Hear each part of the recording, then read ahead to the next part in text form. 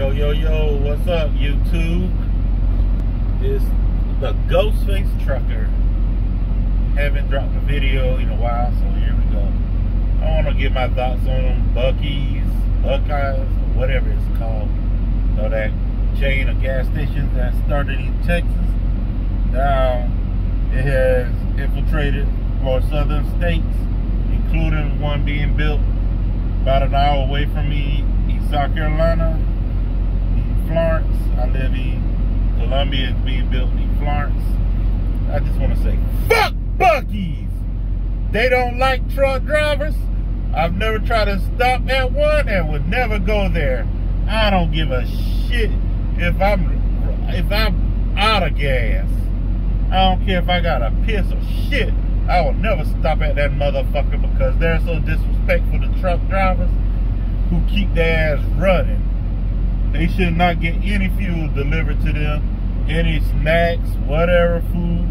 Truckers should strike them. Just like we um, tried to strike uh, Joe Biden's uh, retarded ass government. I should have said that because you know those white liberals, they're going to come for me now for that R word. But anyway, I don't care about Buc-ee's. Fuck Buc-ee's, fuck that beaver whatever it is. Flint better. I'd rather stop at Quick Trip any day over a damn Buc-ee's. Give me one of these ragged ass pilots, Flying J's, TA over a damn Buc-ee's. I want the motherfucker to go out of business, to be honest.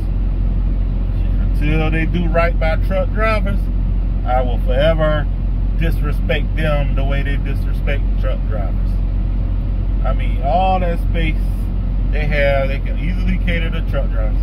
Now, don't get me wrong, we got some shitty ass truck drivers out here who aren't professional at all.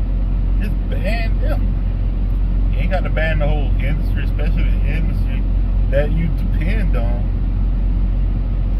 Because ain't no train, no plane delivering fuel to you. No plane or train, a bus delivering um, the groceries and snacks and all of that um, nonsense to you. So you need to cater to truck drivers. And you need to do it now. yeah. Anyways, just a little short video on Buc-ee's. I'll be back later.